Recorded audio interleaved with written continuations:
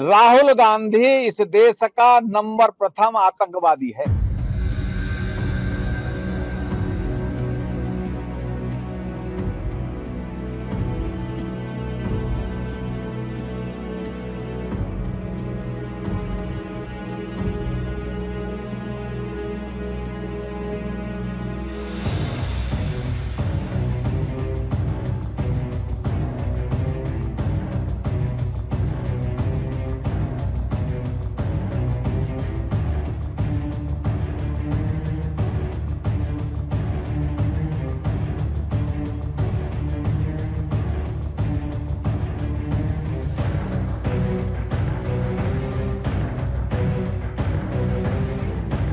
राहुल गांधी इस देश का नंबर प्रथम आतंकवादी है।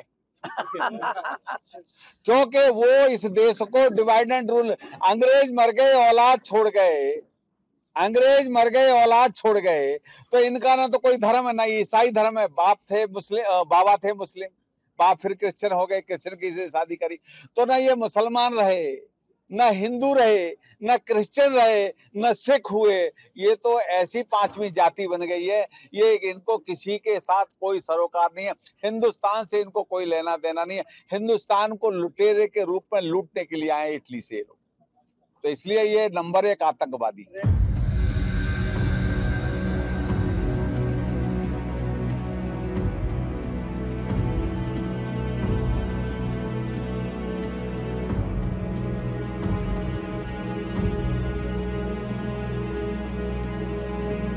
चिंगारी लगाने के लिए पहले मुसलमानों की कोशिश की, उनको यूज़ करने की। अब नहीं हुआ। अब बिल्कुल बॉर्डर पे सिख है। भाई, देश की रक्षा वो करते हैं। उनको साबोटाज करने की कोशिश की है। और जो देश के सबसे बड़े वांटेड हैं, जो राहुल गांधी ने बयान दिया है वो ही वो पहले देते थे।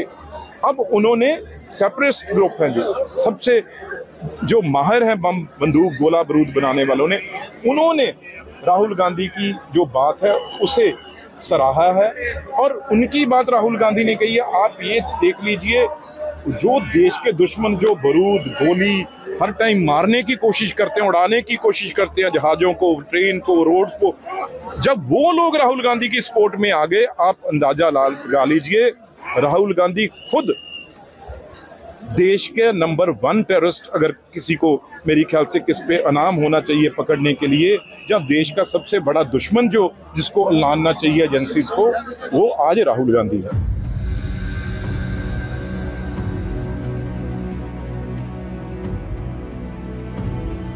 शर्म आती है मुझे कहते हुए कि मोदी सरकार आपके मंत्रिमंडल में एक ऐसा घटिया और सतही बयान देने वाला आदमी मौजूद है। ये तो जयचंद की तरह कि उसको कुछ कीमत दे दो, गद्दारी करा लो।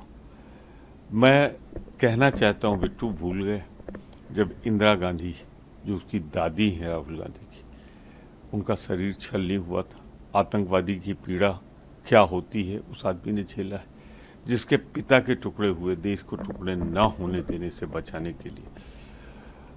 उसके पित, उसके बारे में तुम कह रहे हो?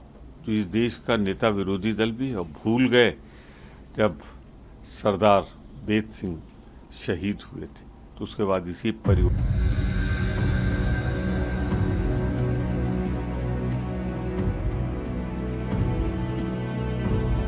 उन्होंने आदरणीय राहुल गांधी को टेररिस्ट कहा है। उन पे केस होनी चाहिए। मानहानि का केस होना चाहिए। और इनको बोलते हिंदुस्तानी नहीं है। बिट्टू जी, अगर इस तरह का बयान करते हैं तो आप पर कांग्रेस पार्टी को केस करके आपको जेल के सलाखों के पीछे भेजना चाहिए।